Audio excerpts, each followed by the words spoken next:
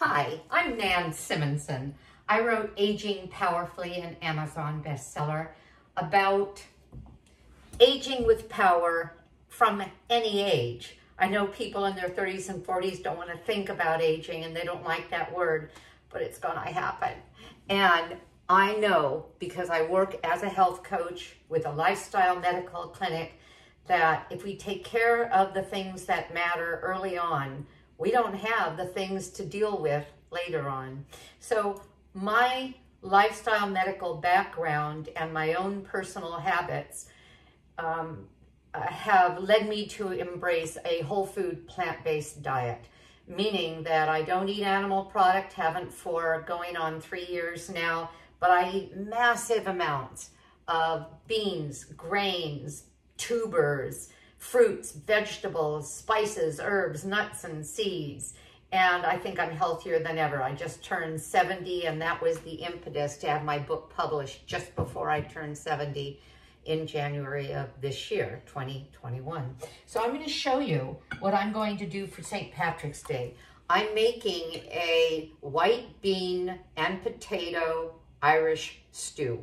And I'm putting potatoes into this fat-free pan because the other thing I do is I eat lots of fat, but I eat them from beans, seeds, nuts, um, the natural fats in things like soy. Uh, even oats have natural fats if it's a whole grain oat. And that's where I get my healthy fats. And I avoid using fat in other ways because the processed oils that come from olives and canola seed and sunflower seed are all not only processed but really high in the omega-6s which tend to be inflammatory. You're going to hear me use the word to the gut all the time. The gut is our microbiome and our microbiome is what keeps us healthy in all ways because the only thing the microbiome and the bacteria in the gut eat are fibers, the soluble and non-soluble fibers. And the only thing that has any fiber at all is plant food. And so I pretty well stick with that, whole food. And as processed as I get might be a jar of peanut butter, uh, I like my whole foods. So what I've just done is I've created a browning effect in this empty pan. And this is how I keep the flavor intense as if I was browning it in oil. I'm adding a little bit of broth. This is my own broth. I keep a bag in the freezer. Some of you could say this along with me because you've seen my videos and know that um, I make my own broth. Why not? From all the scraps of vegetables that we have, like carrot peelings and the ends of, let's say, a head of celery and the my entire bunch of last week's parsley and cilantro. Carrot tops, I stopped at the farm store and got carrots and carrot tops. Some kale stems, not too much of the brassis, the brass, braxit, Braxius, Braxisus, darn it, the um, vegetables that are um, from the cabbage family, uh, like broccoli, cauliflower, cabbage, um, even arugula, because uh, they can give a soup or a broth a bit of a cabbagey family, which I uh, cabbagey flavor, which is fine if that's what I want. But sometimes I have a much lighter flavored dish that I'm making, and so I, I don't want that strong of a flavor in the, the broth. So if you take a look, you can see that the, the onions are getting nicely browned, and that's where you get a lot of flavor. And this is going to be a two-part video, but you won't know it. It'll all be put together because I'm going to get it started. And I'm going to get it started with my vegetables that need to cook for 45, 50 minutes, as well as a grain. I could have used barley, which should have been very Irish, but I can't have gluten, and therefore one of the grains I love, and I, I like sorghum and I like millet and I like um, amaranth and quinoa, which is a seed. Um, but I like the texture, which is similar to barley and similar to wheat, of oat groats. So I have oat groats in my strainer. I wash all of my grains, even brown rice, all the grains, because they sit in silos and get dusty and things walk on them. And so I rinsed my oat groats. You can get them on Amazon. I have a health, a Whole Food store near me, and I usually do this two to three times. I don't want it to stick and burn, but I also absolutely want it to um, continue to caramelize because that's what onion will do. I'm going to add garlic, but I'm not going to add it this near the, or the, this, um, at this point because if it gets too brown, the garlic will simply burn and then it gets bitter. I think I'm done with this. And now what I'm going to add, and I just realized as I'm talking to you that I didn't bring my garlic here, but I will grab it and add it. So consider that I've added several cloves of garlic, two to three. And I have chopped carrot and celery. The recipe will be with this uh, video. So you will have a recipe for this. And I'm adding, and you can see that my carrots are cut in nice sized chunks. They look so pretty in a stew that way. And they still fit in the mouth. And then I'm adding, in this case, it was two pounds of russet potatoes cut into chunks. Again, nice sized chunks because I want this stew to have a real kind of a, a family soup bowl kind of a look and feel to it where it's really chunky. If this were a stew with meat and I don't buy meat and I don't use meat, if this were a stew with meat, we would have chunks of things in there, the vegetables to kind of match the, um, oh, I'm going to say the, the look and feel of the meat. But in this case, you can see how pretty this is. Lots of chunky, big chunk vegetables. And I also have the um, rinsed um, oat groat. That's going to give me a grain in there. Now, later, you're going to see me add the rest after these cook. But let me tell you what I did. These are my beans. The recipe simply calls for white beans, white kidney beans, which people call cannoli beans, cannellini beans, excuse me. Well, I had a bag of cassoulet beans from a great place called Rancho Gordo, and they have heirloom beans and um, well-sourced, um, a lot of well-sourced, interesting foods, um, mainly grains and some spices and some herbs.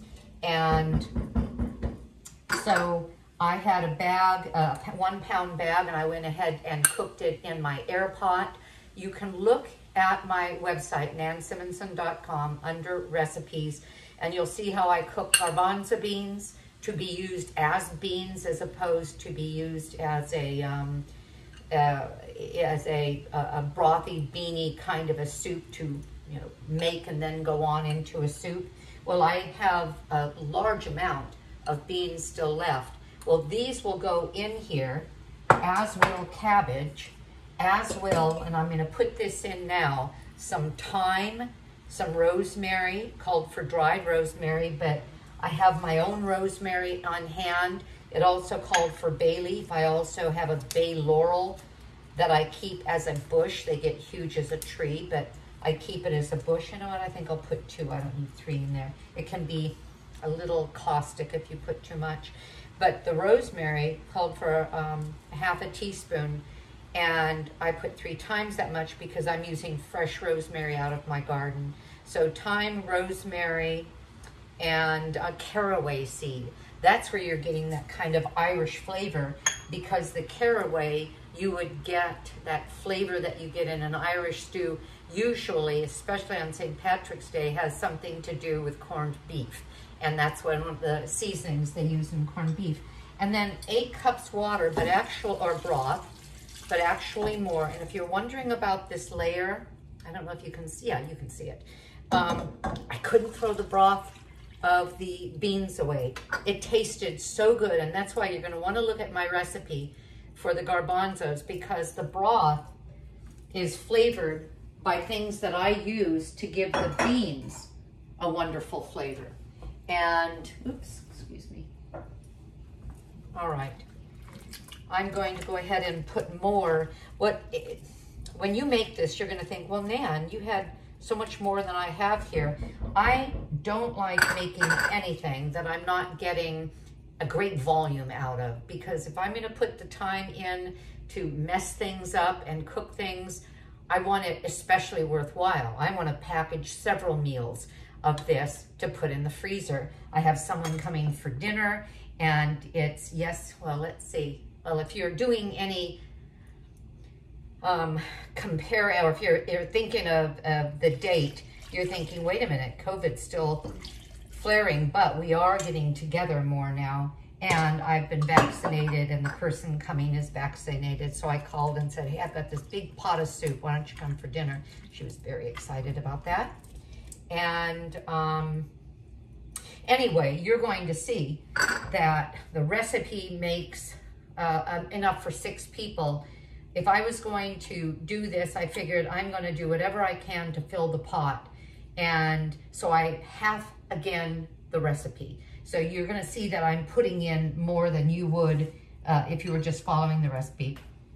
When this is uh, tender, and that'll be about 45 minutes, I'm gonna put in canned tomato. I could have used a can and a half, but I figured uh, this is enough tomato. I'm going to use, the recipe calls for three cans of beans or three cups. I'm putting in four and a half, almost five. And then I'm gonna put a bunch of cabbage in there and I have just enough room left in this pan to do all of that. So I'll have this marvelous stew. If the stew is not liquid enough, because I like a lot of liquid, I'll simply add more of my broth. Yesterday I did a huge pan of broth, um, made a huge pan of broth out of my frozen vegetables. I had a lot left in the freezer that I hadn't um, made previously, so I had to use a stock pot bigger than this. But it's really fun because now I have all this broth to do things with. So I'm gonna leave you now. I'm gonna put this on medium high, bring it to a simmer. I'm sorry, bring it to a boil, then turn it to a simmer. I'll get back to you um, to put these in, and then I'll even get back to you one more time and show you the finished stew, okay? Bye. Okay, part two. I have been cooking the stew, Irish bean and potato stew now for 45 minutes. I can see that the oat groats have volume to them and they're, mm, mm. I love the toothiness of them. And oat groats have kind of an earthy flavor. They're actually, I think they're marvelous. I use them for everything. And that's what I make my oatmeal with because I like all that extra fiber. It's like eating a wheat berry rather than um, wheat flakes. Okay, now I'm adding four and a half cups. Watch me throw the whole thing in, bowl and all. All right. Four and a, half, and a half cups of the beans that I cooked this morning in the Instant Pot. I Soak them overnight, cook them in the Instant Pot 35 minutes. Again, go on my website and you'll get a really savory uh, dry bean recipe. Uh, in this case, it was for garbanzo beans, but it would be fine with any other. And um, now I'm adding, you can see I needed this big pot. And after I turned the video off last time, I decided to simply add more broth because I knew I'd need it. So I think we're up to maybe, I don't know, well, I did an, a, a recipe and a half, but I think I'm up to at least 12 cups of broth, and it may be more. I like a brothy stew. I like a lot of broth on the spoon. There, okay. So this is what it looks like now. I want that cabbage to get soft. Some people say, oh no, don't cook it and, and let the cabbage be crunchy. Well, in a St. Patty's Day boiled dinner, where you have cabbage, potato, carrot, and um, the, the corned beef. And this is vegan, of course. Um, the cabbage is rather soft, and I like it that way. Really flavorful. And mm, I'm going to add a little bit more of my dry seasoning. The one thing I did that I didn't show you is that I have a, a skimmer. And I, I learned this a long time ago. When you're working with anything, like either dry beans or grains, sometimes even certain vegetables, you may get a foamy top layer.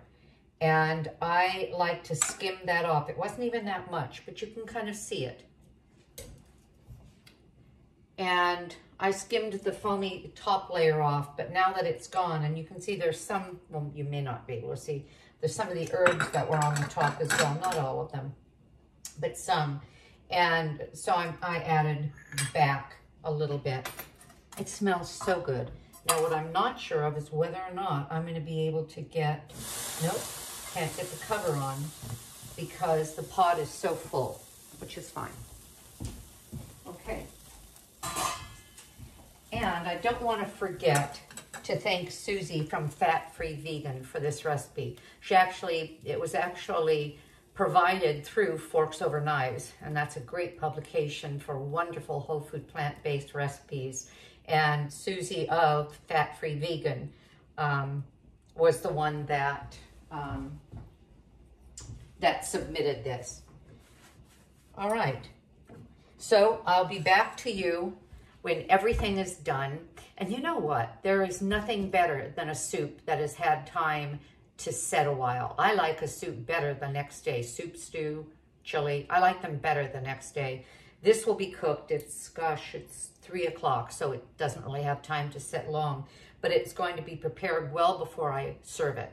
And then I'll heat up just a little bit if it still needs to be heated for the dinner and just let it sit for a while. Um, I just think the flavors marry especially well that way. So this is it. And then it'll be served and you'll see what it will look like on a plate. Thanks, bye.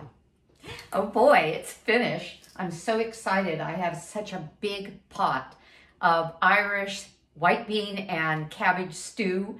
It smells delicious. No, I haven't even tasted it yet. We have a bowl of it poured Put a little more in there. Remember, this is a lean, lean soup. There's no fat in it at all. And this is how I would present it. I would put some, I like cilantro. You may want to put parsley on it to green it up a little bit.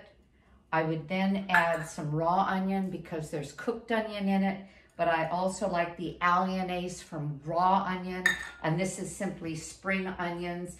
And it's classic to serve a Irish meal that comes with corned beef with sour cream. That kind of tang is wonderful. Well, this is my version of sour cream and I love it. And it is my tofu sour cream. You'll see that on my website under recipes. Another thing you'll see are these beautiful and delicious corn muffins. This is the recipe, it's on my website. This is another one that's going to be following. It's a gluten-free bread that is nothing but three whole grains mixed together and it's dense and moist and delicious.